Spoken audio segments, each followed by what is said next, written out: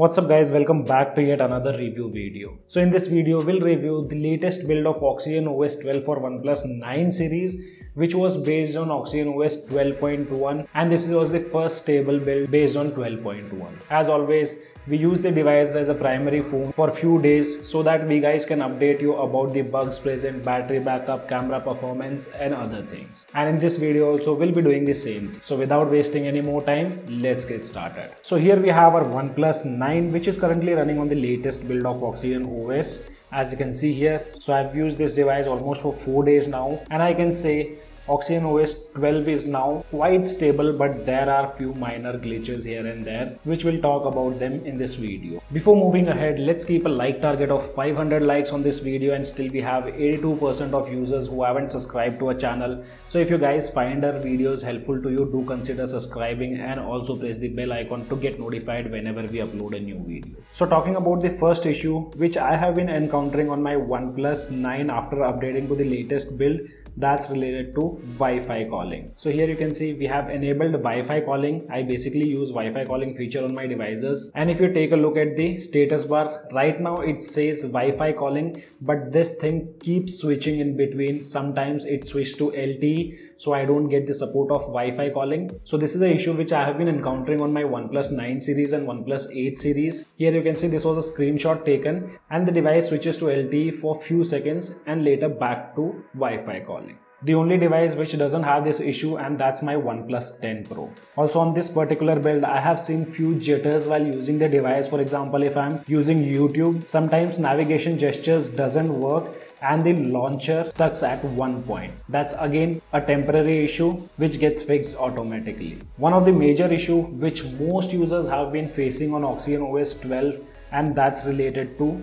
Gmail notification. So this thing OnePlus have still not fixed. Let me open my Gmail application. So here you can see I have so many mails which arrived today but I did not get a single notification from Gmail. All the necessary permissions have been allowed and we have also turned off battery optimization for Gmail application. Though still this issue is present on Oxygen OS 12 and another issue is again related to notification panel so it's not related to notification it's related to notification panel so whenever i'm using light background you can see in the status bar there is an application between clock and this youtube icon which is instagram and if you use the white background sometimes the icon of that application do appears in white color which is completely invisible so here you can see the same time I took a screenshot wherein I had messages from Instagram app and the icon was not being seen in the status bar. After that, now most of the users are facing battery drain issues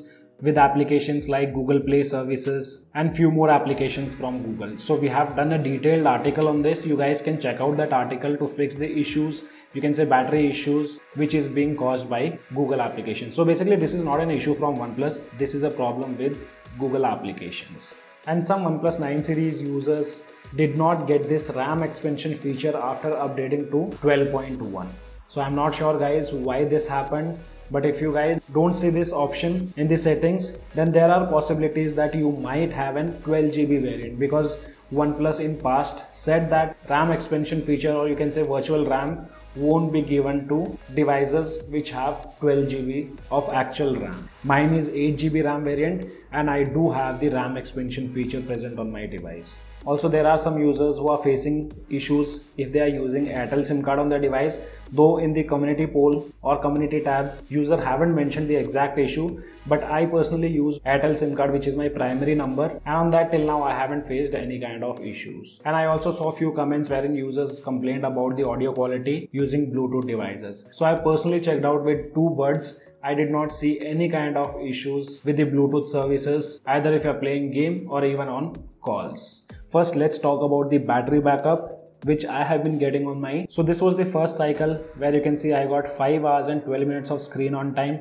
with my normal usage. Second time I got 4 hours and 30 minutes of screen on time again with my normal usage. If we talk about the overnight battery drain, so here is a screenshot where you can see I slept around 12:19. That time the battery percentage was 18 and when I woke up in the morning at around 8 o'clock the battery percentage was 12 and this battery drain overnight is with always on display turned on but that was set to power saving mode. Okay, so when it comes to battery part or charging part, there are few users who are facing issues. They are not able to get 65 watt written on their lock screen when they keep the device for charge.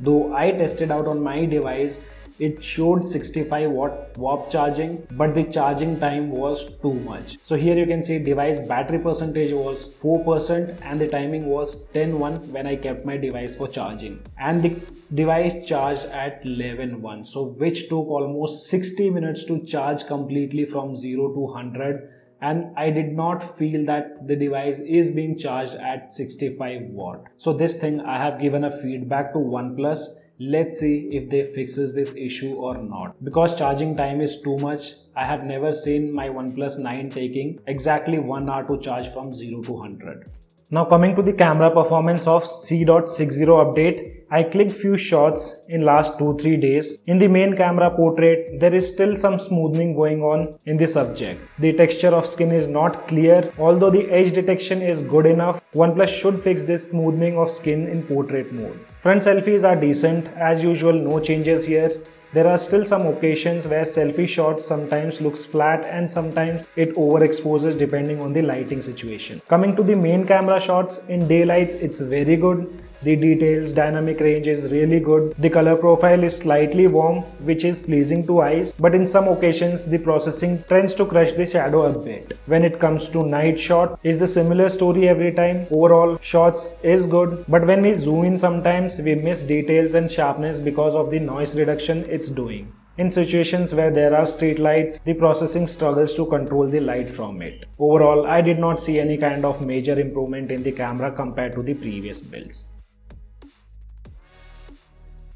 And at last, let's talk about the performance part. So whenever I have to test out the performance of my device, I do gaming, which gives me a better idea. So as you all are aware, we don't get the support of 90 FPS in Battlegrounds Mobile India and I mostly play this game. So if you take a look at the graphic settings, we do get the support of 90 FPS, but whenever you enable FPS meter, we only get to see 60 fps and in past i used to test gaming in tdm but this time i played a full match and you won't believe guys there was a lot of frame drops. I wasn't even able to play the game. I just played one match which got completely screwed up because of the fps drop I have seen FPS going down up to 20 FPS when there are a lot many teams around you or if you involve in any fight there also I did notice a lot of frame drops. Here are few clips from that gameplay wherein you can clearly see the FPS drop.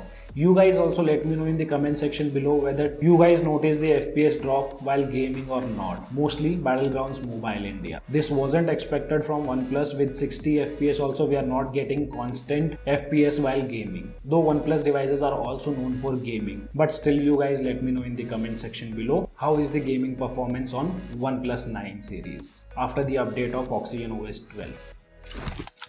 I need a weapon. I need a weapon.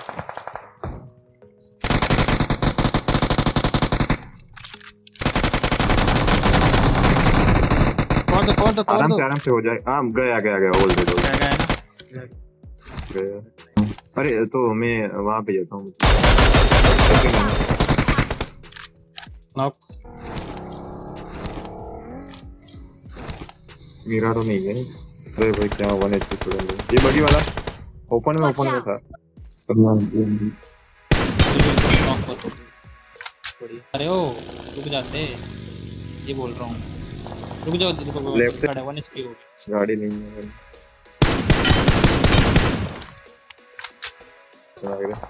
अरे अशोक भाई आके एक अरे बंदा आराम मेरे को सामने वाले दो दिखे बाद में। बढ़िया बढ़िया। हिल करो हिल कर ले। हिल करो पहले हिल करो। हील कर लो रिवाइव कर दो रिवाइव कर दो नहीं So guys, this was a complete review of Oxygen OS 12.1. Now you guys must be aware what all minor issues present on this latest build of Oxygen OS 12.1 and I hope you guys will be able to decide whether to update your device to this build or not. And if I have missed out any issue which you guys must be facing and I am not facing, then do let me know in the comment section below as of now only this much in this video. I hope you guys gonna like the video. If you like the video then do give me a thumbs up. And also if you're new to our channel then do not forget to subscribe the channel. Thanks for watching. Have a great day